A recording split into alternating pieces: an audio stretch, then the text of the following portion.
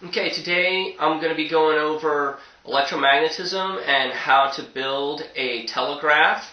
And the items you're going to need to conduct this experiment are a battery, any kind of DC battery will do, some insulated solid wire. Now this I stripped out of this gigantic roll of electrical telephone wire something to cut and strip your wire with. I just got these nippers here that I was using. Some short nails, some small nails. These are these are 7 eighths, but anything will do this semi-short. And this is a box of 20D 4-inch nails. Um, I've got a large battery here, which I'm going to use for the telegraph. This battery I'm going to use just to just demonstrate an electromagnet. I got some paper clips here, and some ferrous material that are in strips. Uh, ferrous meaning uh, magnetic. These are steel, and these are brick ties. Right here, I got a package of 100 of these for about 350. You don't need nearly this many. You really only need two, but um, these work really well. You can get any kind of strips of metal as long as they're magnetic, and a block of wood. The first thing I'm going to go over is the basic theory of electromagnetism, and what that means is wherever you have flow of electricity, you also have a magnetic field. So if I were to take this piece of wire and run a current through it with my battery, my battery, um, it will create a magnetic field around this piece of wire. Now it's a very weak electrical field because you're only going through one strand. But if I made a loop in this wire, I would double the strength of the magnetic field.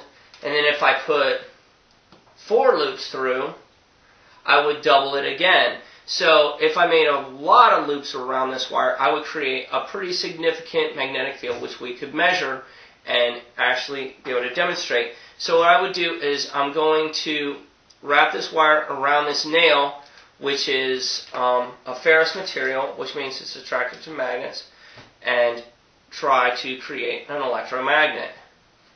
So I'm going to wind my wire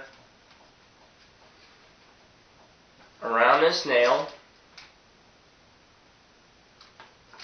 And this is approximately six feet of solid wire. And I like to use solid. You can use stranded, but the solid's going to stay in place. It's not going to try to unwind on you from this nail. And um, you can be neat with this, but just for time's sake, I'm just going to wind it on around.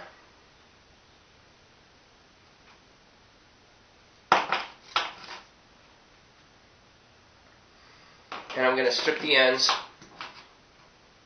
Strip the now you got you, you need to make sure that you this is insulated wire. As if you use non-insulated wire to do this, um, it's just going to short out against each other and it's not going to work. It's just going to create instead of going around, the current is just going to go straight through and out the other side if you use non-insulated wire. So I've stripped the ends, and I'm going to dump some paper clips out. I'm going to connect one end of the wire to the negative, one end of the wire to the positive, and now when I let go of one side, I, it drops all of these things. So what I'm doing is, is basically I'm at, this is acting like my switch. Then here is my coil, which is creating a magnetic field around here whenever I apply current to it. And then I have my battery as my power source. And then, so in this way, this is what we're basically going to be doing to make our telegraph. In this section, we'll be taking our basic theory of wrapping the wire around the nail to create an electromagnet and expanding on that to create a telegraph.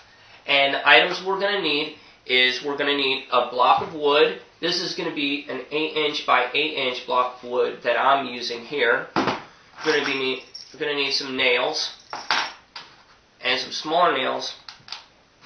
The solid core wire to create our coil and our magnetic strips of metal here, which I went over earlier. Now, the first thing we're going to do is we're going to wrap our nail with our wire. Now, I use 20 feet of wire, insulated wire, to create this, and you hook this, you can do this by hand and do it very neatly, and it takes a long time, or you can do it a little quicker by putting the nail and chuck it into a drill, and then get the wire started, and then use the drill to wind your winding up, because you're going to need 20 feet of this. And in the next section, I'm going to be going over how to drill your holes, pre-drill your holes into your block wood.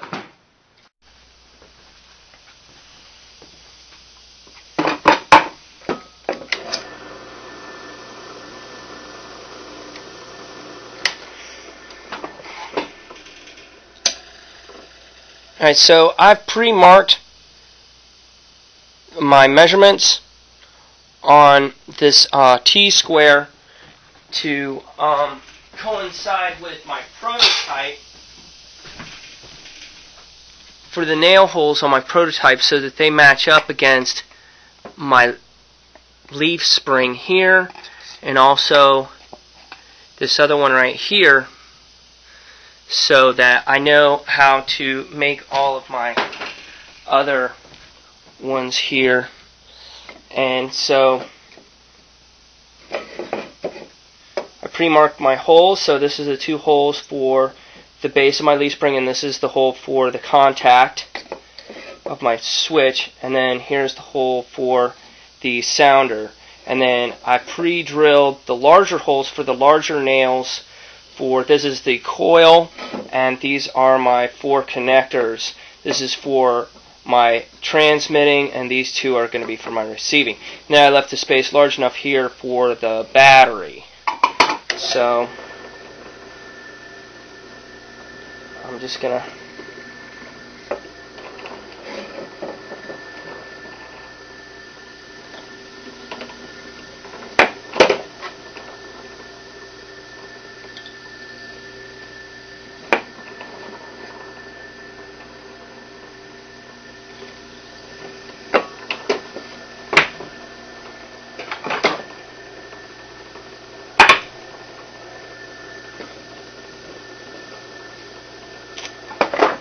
done ones.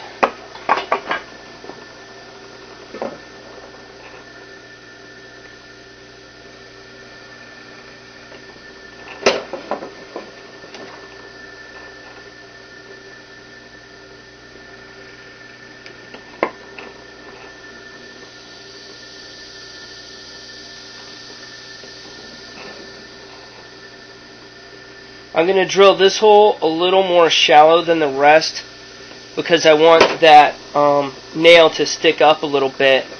And so now I have all of my holes pre-drilled so that all my nails will fit in and then my smaller nails over here that are going to be securing my pieces of metal are not going to split the wood when I try to hammer in the nails and it'll give a snug fit but um, I don't run the risk of having anything split. Ta-da!